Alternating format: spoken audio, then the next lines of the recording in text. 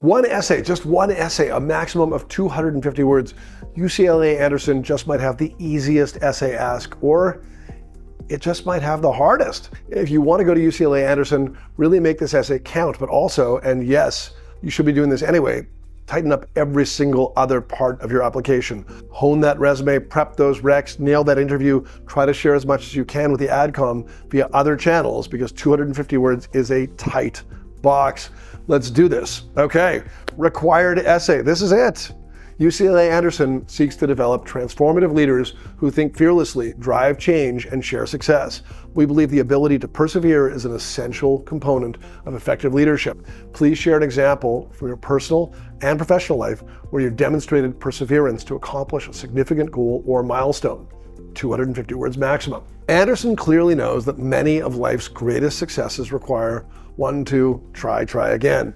And that this attitude is necessary to gain and accomplish the most, not just in business school, but also in the world after graduation. Ask yourself, would you want the leader of your company to have faced absolutely no diversity at all, or would you want them to have taken a few lumps, learned to deal with stumbles or failures, and figured out how to grow? I think the question almost answers itself. We would assume the latter, and UCLA is basically saying that too. For this essay, you can share either a personal story or professional one, so explore all your career, family, and community life experiences to identify one that you believe was particularly significant and influential. Certainly don't be afraid to discuss a setback. This essay is not a trick. They're not trying to secretly uncover some weakness of yours. You need to be honest in showing that you just didn't get wherever it is that you were going at first. It's the overcoming that they care about more than the setback.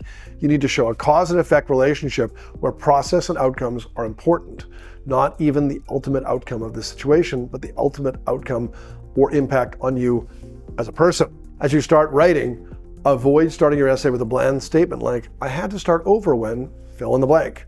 Instead, leap directly into the action of your story and immediately convey what was at stake in the situation. Next, briefly explain the obstacle or setback you encountered, and then dedicate the rest of the essay to outlining your reaction to it and the steps you took to either soldier on with your original plan, despite the impediment, or begin anew. Be sure to address what specifically inspired you, what kept you from giving up on attaining your objective, and how you maintained your motivation as you pursued your goal, and again, share the way you change. 250 words make them count. Quick final note, UCLA does have an optional essay, and some candidates might be tempted to use the optional essay to squeeze in more information about themselves. But anyone considering this option must be prudent about doing so because Anderson is very clear. It states the essay is specifically for extenuating circumstances. Bad grade, time off between jobs, layoff, rough GMAT. This is your place. The story about how you saved that cat stuck up in a tree save that for another place. For more on that topic, don't miss our next video where my colleague Rachel Beck goes in depth on when to write an optional essay and the tone you should use in that essay. That brings us to the end of our UCLA essay analysis. Good luck with your UCLA essays and with your application to UCLA Anderson.